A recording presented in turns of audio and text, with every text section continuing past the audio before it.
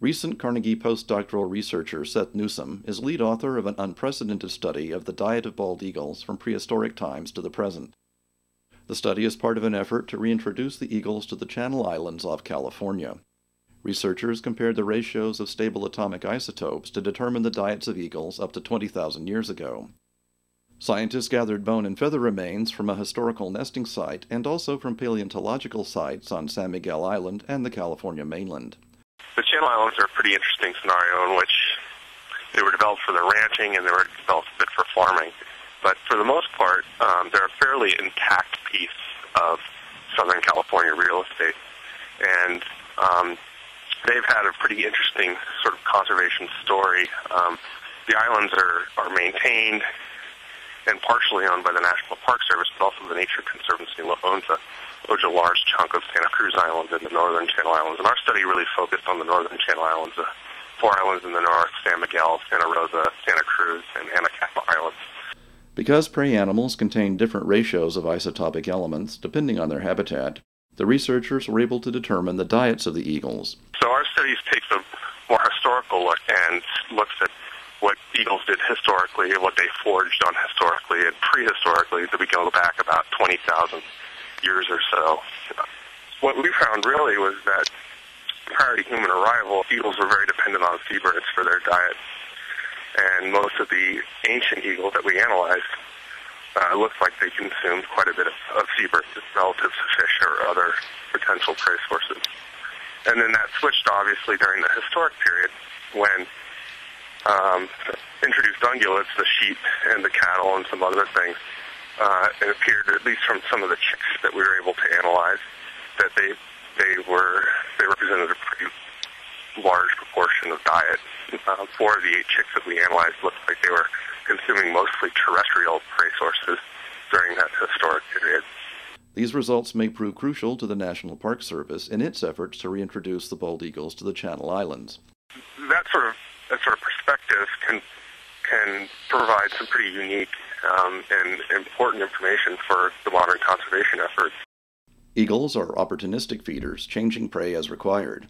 The Park Service needs to understand the diets of the birds to help with reintroduction. We're introducing them into a system that they really haven't seen before. And islands have seen quite a bit of, of ranching history where non-native ungulates, mostly in the form of sheep, but also cattle and horses and pigs, were introduced to those islands in the 1850s and really persisted on those islands all the way up to 2005. The Park Service has have a huge effort essentially to eradicate those animals from the islands. In the last, say, 50 to 100 years, there's been a lot of fishing in the islands, uh, fish that are probably pretty common prey for bald eagles.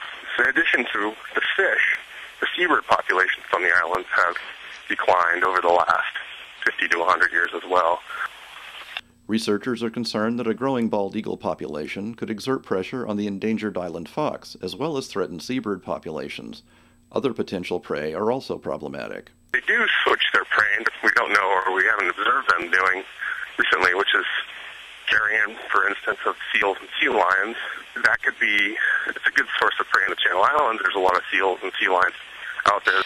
A lot of studies have shown that those sources of prey are laden with a lot of contaminants.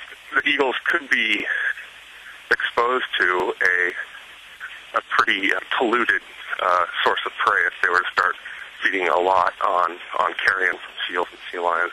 The scientists established the diets of the eagles by comparing the isotopic forms of elements found in their remains. Isotopes of elements vary depending on how many neutrons they have.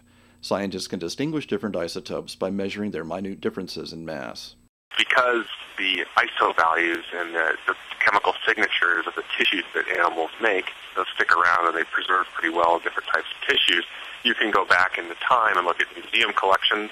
A lot of museum collections have bone material or feather material in them. Or you can look at archaeological and paleontological um, sites and collections, and those are mostly bone material.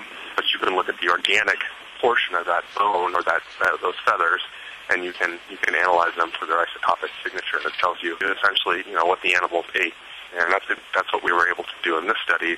Coastal marine ecosystems have higher amounts of carbon 13 and nitrogen 15. Marine ecosystems also have more steps in the food chain, resulting in higher amounts of nitrogen 15. The work done by Newsome and his colleagues represents an unusual approach.